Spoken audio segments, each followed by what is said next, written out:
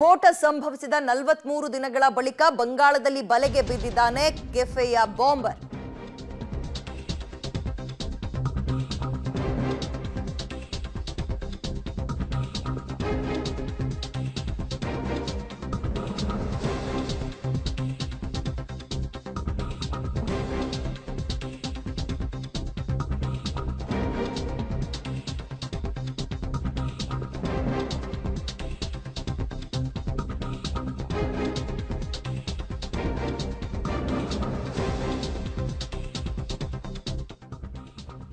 Cafe bomber Rameshwaram cafe bomb blast ಪ್ರಕರಣಕ್ಕೆ ಸಂಬಂಧಪಟ್ಟಂತೆ ವಿವಿಧ ಆಯಾಮದಲ್ಲಿ ವಿಚಾರಣೆಯನ್ನ ಈಗ ಅವರಿಬ್ಬರನ್ನ ವಶಕ್ಕೆ ಪಡೆದಿರುವಂತಹ ಎನ್ಐಎ ನಡೆಸುತ್ತೆ. ಈ ಪ್ರಕರಣಕ್ಕೆ ಸಂಬಂಧಪಟ್ಟಂತೆ ಬಹಳ ಬಹಳ ಮುಖ್ಯವಾದ ಬೆಳವಣಿಗೆ ಅಥವಾ ಒಂದ್ ರೀತಿ ಕೊನೆ ಘಟ್ಟ ಅಂದ್ರೆ ಈಗ ತನಿಖೆ ಆರಂಭ ಆಗೋದು ಇವಾಗ ಆದ್ರೂ ಕೂಡ ಅವ್ರನ್ನ ಹುಡುಕುವಲ್ಲಿ ಯಶಸ್ವಿಯಾಗಿದ್ದಾರೆ.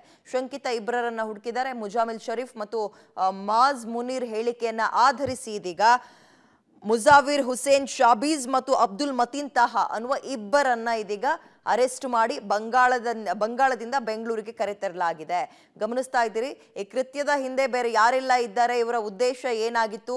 ರಾಮೇಶ್ವರಂ ಕೆಫೆಯನ್ನೇ ಯಾಕೆ ಆಯ್ಕೆ ಮಾಡಿಕೊಂಡ್ರು? ಇವರ ಹಿಂದೆ ಯಾರಿದ್ದಾರೆ? ಇವರಿಗೆ ಫಂಡಿಂಗ್ ಎಲ್ಲ ಆಗ್ತಾ ಇತ್ತು?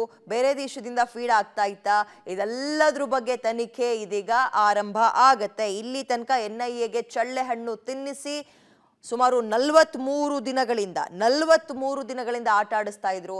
Bengaluru to Kolar sorry Bengaluru to Calcutta link ತಗೊಂಡಿದೆ ಈ ಒಂದು ಪ್ರಕರಣ. ಯಾಕಂದ್ರೆ ಅಲ್ಲೇ ಸಿಕ್ಕಿರುವಂಥದ್ದು ಈಗ. ಇನ್ನು ಮುಂದಕ್ಕೆ ವಿಚಾರಣೆ ಬಹಳ ತೀವ್ರ ಗತಿಯಲ್ಲಿ ನಡೆಯುತ್ತೆ. ಇಲ್ಲಿ ತನಕ ನಮ್ಮೆಲ್ಲರಿಗೂ ಕಾಡ್ತಾ ಇದ್ದಂತಹ ಪ್ರಶ್ನೆಗಳಿಗೆ ಉತ್ತರ ಸಿಗುವಂತಹ ಸಂದರ್ಭ ಬಂದೇ ಬಿಡ್ತು ಮತ್ತು ಎನ್ ಐಗೆ ಒಂದು ರೀತಿ ನಿಟ್ಟುಸಿರು ಈಗ. ಯಾಕಂದ್ರೆ ಇವ್ರನ್ನ ಒಂದಲ್ಲ ಎರಡಲ್ಲ ಹಲವು ಆಯಾಮದಿಂದ, ನೂರಾರು ಆಯಾಮದಿಂದ ಹುಡುಕಿದ್ದು. ಇಲ್ಲಿ ತನಕ ಎಂಟು ನೂರಕ್ಕೂ ಹೆಚ್ಚು ಸಿ ಸಿ ಟಿ ವಿ ಕ್ಯಾಮ್ರಾಗಳನ್ನ ಬರೀ ನಮ್ಮ ರಾಜ್ಯದಲ್ಲಿ ಮಾತ್ರ ಅಲ್ಲ, ಬೇರೆ ರಾಜ್ಯದಲ್ಲೂ ಸೇರಿದಂತೆ ಎಂಟು ನೂರಕ್ಕೂ ಹೆಚ್ಚಿನ ಕಡೆ ಸಿ ಸಿ ಟಿ ಕ್ಯಾಮ್ರಾದಲ್ಲಿ ಅವರ ಆ ಚಲನವಲನವನ್ನ ಕಂಡುಹಿಡಿದಿದ್ದು ಶಂಕಿತ ಇಬ್ರು ಆರೋಪಿಗಳಿಗೆ ಎನ್ಐಎ ಡ್ರಿಲ್ ನಡೆಸುತ್ತೆ. ಮುಜಾಮಿಲ್ ಶರೀಫ್ ಮತ್ತು ಮಾಜ್ ಮುನೀರ್ ಇವರ ಹೇಳಿಕೆ ಆಧರಿಸಿ ತನಿಖೆಯನ್ನ ಶುರು ಕೈಗೆತ್ಕೊಂಡಿತ್ತು ಎನ್ಐಎ. ಹೆಚ್ಚಿನ ಡೀಟೇಲ್ಸ್ ನಮ್ಮ ಪ್ರತಿನಿಧಿ ಉಮೇಶ್ ನೀಡ್ತಾರೆ. Good morning Umesh. ಸತತವಾಗಿ ನಲವತ್ಮೂರು ದಿನಗಳ ಬಳಿಕ ಎನ್ಐಎ ಅಧಿಕಾರಿಗಳು ಇದೀಗ ಶಂಕಿತ ಉಗ್ರರನ್ನ ಅರೆಸ್ಟ್ ಮಾಡುವಲ್ಲಿ ಯಶಸ್ವಿಯಾಗಿದ್ದಾರೆ. ತನಿಖೆ ಮುಂದಕ್ಕೆ ಹೇಗೆ ಸಾಗುತ್ತೆ? ಒಂದು, ಇನ್ನೊಂದು ಬೆಂಗಳೂರು ಟು ಕಲ್ಕತ್ತಾ. ಲಿಂಕ್ ಪಡೆದುಕೊಂಡಿದ್ದು ಹೇಗೆ?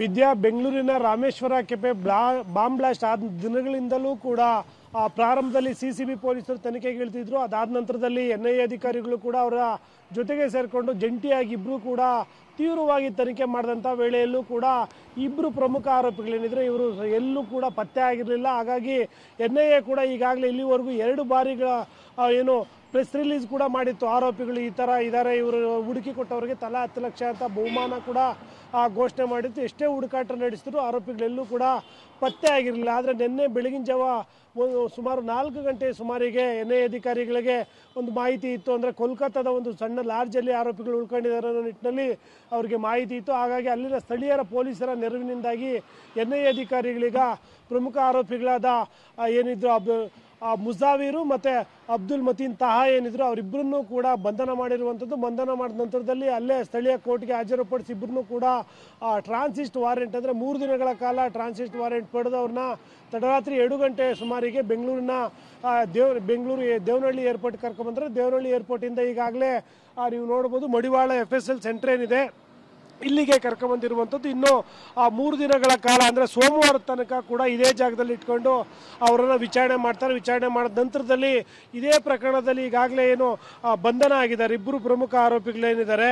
ಅವರು ಒಬ್ಬ ಮಾಜ್ ಮುನೀರು ಮತ್ತು ಮುಜಾಮಿಲ್ ಶರೀಫ್ ಅಂತೇಳಿ ಅವರು ಈಗಾಗಲೇ ಇದೇ ಪ್ರಕರಣದಲ್ಲಿ ಬಂಧನ ಆಗಿರುವಂಥದ್ದು. ಅವರನ್ನು ವಶಕ್ಕೆ ಪಡೆದು ಎನ್ ಐ ಅಧಿಕಾರಿಗಳು ಕೂಡ ತೀವ್ರ ವಿಚಾರಣೆ ಕೂಡ ಮಾಡಿದರು. ವಿಚಾರಣೆ ವೇಳೆಯಲ್ಲಿ ಇವರಿಬ್ಬರ ಪ್ರಮುಖ ಪಾತ್ರ ಇರುವಂಥದ್ದು ಗೊತ್ತಾಗಿತ್ತು. ಆ ನಿಟ್ಟಿನಲ್ಲಿ ಅವರನ್ನು ಪತ್ತೆ ಮಾಡುವಂಥ ಕೆಲಸ ಕೂಡ ಈಗ ಆಗಿರುವಂಥದ್ದು. ಹಾಗಾಗಿ ಈ ಹಿಂದೆ ಪ್ರಕರಣದಲ್ಲಿ ಏನು ಸಿಲುಕಿದ್ದಂಥ ಇಬ್ಬರು ಆರೋಪಿಗಳಿದ್ರು ಅವರ ಹೇಳಿಕೆಗಳಾಧರಿಸಿ ಇವತ್ತು ತೀವ್ರವಾಗಿ ವಿಚಾರಣೆ ಶುರು ಮಾಡ್ತಾರೆ. ವಿಚಾರಣೆ ಶುರು ಮಾಡಿದ ನಂತರದಲ್ಲಿ ರಾಮೇಶ್ವರ ಕೆಫೆ ಬಾಂಬ್ ಬ್ಲಾಸ್ಟ್ ಸಂಬಂಧಪಟ್ಟ ಹಾಗೆ ಪ್ರಮುಖವಾಗಿ ವಿಚಾರಣೆ ನಡೆಯೋದಾದರೆ ಅಲ್ಲಿ ರಾಮೇಶ್ವರ ಕೆಫೆಯಲ್ಲೇ ಯಾಕೆ ಟಾರ್ಗೆಟ್ ಮಾಡಿದ್ರಿ? ಮತ್ತು ಅಲ್ಲಿ ಬಾಂಬ್ ಬ್ಲಾಸ್ಟ್ಗೆ ಬೇರೆಯಲ್ಲಿ ಯಾರೆಲ್ಲ ಸಪೋರ್ಟ್ ಮಾಡಿದ್ರ? ಮತ್ತು ಎಷ್ಟು ದಿನಗಳಿಂದ ಇದೆಲ್ಲ ಸ್ಕೆಚ್ ನಡೆದಿತ್ತು ಅನ್ನೋದ್ರ ಬಗ್ಗೆ ಕೂಡ ವಿಚಾರಣೆ ಮಾಡಬೇಕಾಗುತ್ತೆ. ಜೊತೆಗೆ ಈ ಪ್ರಮುಖ ಆರೋಪಿಗಳು ಕಳೆದ ನಾಲ್ಕು ವರ್ಷಗಳ ವರ್ಷಗಳಿಂದಲೂ ಕೂಡ ಸಿ, ಎನ್ ಐ ಎ ಅಧಿಕಾರಿಗಳಿಗೆ ಬೇಕಾದಂಥ ಆರೋಪಿಗಳಾಗಿದ್ದರು ಆದರೂ ಕೂಡ ಪತ್ತೆ ಆಗಿರಲಿಲ್ಲ. ಇವರು ಈ ನಾಲ್ಕು ವರ್ಷಗಳ ಕಾಲ ಎಲ್ಲಿದ್ದರು ಮತ್ತು ಏನೆಲ್ಲ ವಿಧ್ವಂಸಕ ಕೃತ್ಯಗಳ ಎಸಗಕ್ಕೆ ಪ್ಲ್ಯಾನ್ ಮಾಡಿದ್ರು ಅನ್ನೋದು ಕೂಡ ವಿಚಾರಣೆ ಮಾಡಬೇಕಾಗುತ್ತೆ. ಹಾಗಾಗಿ ಇವತ್ತು ಮತ್ತು ನಾಳೆ ಸರ್ಕಾರಿ ರಜೆ ಇರೋ ಕಾರಣಕ್ಕಾಗಿ ಸೋಮವಾರ ಎನ್ ಐ ಎ ಕೋರ್ಟ್ಗೆ ಹಾಜರುಪಡಿಸಿ ಅವ್ರನ್ನ ಮತ್ತೆ ಕಸ್ಟಡಿಗೆ ಕೊಟ್ಕೊಂಡು ವಿಚಾರಣೆ ಮಾಡ್ತಾರೆ. ನಿನ್ನೆ ಎನ್ ಐ ಅಧಿಕಾರಿಗಳು ಬಂಧನ ಮಾಡಿದಂಥ ವೇಳೆಯಲ್ಲೂ ಕೂಡ ಅವರು ಹಿಂದೂ ಏನೋ ಹೆಸರು ಇರ್ತವೆ, ಅವನ್ನ ಬಳಸಿ ಅದಕ್ಕೆ ಬೇಕಾದಂಥ ಏನು ಡ್ರೈವಿಂಗ್ ಲೈಸೆನ್ಸ್ ಆಗಿರ್ಬೋದು, ಬೇರೆ ಬೇರೆ ಡಾಕ್ಯುಮೆಂಟ್ಗಳನ್ನ ತಮ್ಮ ಬಳಿ ಇಟ್ಕೊಂಡು ಆ ಹೆಸರುಗಳು ಚೇಂಜ್ ಮಾಡಿಕೊಂಡು ಬೇರೆ ಬೇರೆ ಕಡೆಗೆ ಒಂದು ಕಡೆಯಿಂದ ಮತ್ತೊಂದು ಕಡೆ ಓಡಾಡ್ತಿದ್ರು ಅಂತ ಮಾಹಿತಿ ಇರುವಂಥದ್ದು. ಹಾಗಾಗಿ ಈ ಪ್ರಕರಣದಲ್ಲಿ ಸದ್ಯಕ್ಕೆ ನಾಲ್ಕು ಜನನೂ ಕೂಡ ಎನ್ ಐ ಅಧಿಕಾರಿಗಳು ಬಂಧನ ಮಾಡಿದಂತ ಆಗಿರುವಂಥದ್ದು ನಾಲ್ಕು ಜನರನ್ನು ಕೂಡ ವಿಚಾರಣೆ ಮಾಡಿದ ನಂತರದಲ್ಲಿ ಇವರೆಲ್ಲ ಇನ್ನು ಬೇರೆ ಬೇರೆ ಏನೇನೋ ಕೃತ್ಯಗಳಲ್ಲಿ ಎಸಗಿದ್ರಾ ಅಥವಾ ಪಾಲ್ಗೊಂಡಿದ್ರಾ, ಪಾಲ್ಗೊಂಡಿದ್ರೆ ಅವ್ರಿಗೆ ಸಪೋರ್ಟ್ ಮಾಡ್ತಿರೋರು ಯಾರು ಎಲ್ಲವನ್ನೂ ಕೂಡ ವಿಚಾರಣೆ ಮಾಡಬೇಕಾಗುತ್ತೆ. ಹಾಗಾಗಿ ಎಫ್ ಎಸ್ ಎಲ್ ಸೆಂಟ್ರಲ್ಲಿ ಮೂರು ದಿನಗಳ ಕಾಲ ಆ ಪ್ರಾಥಮಿಕ ವಿಚಾರಣೆ ಮಾಡಿ ನಂತರದಲ್ಲಿ ಎನ್ ಐ ಎ ವಿಶೇಷ ಕೋರ್ಟ್ಗೆ ಹಾಜರುಪಡಿಸ್ತಾರೆ. ವಿದ್ಯಾ. Thank you ಡೀಟೇಲ್ಸ್ಗೆ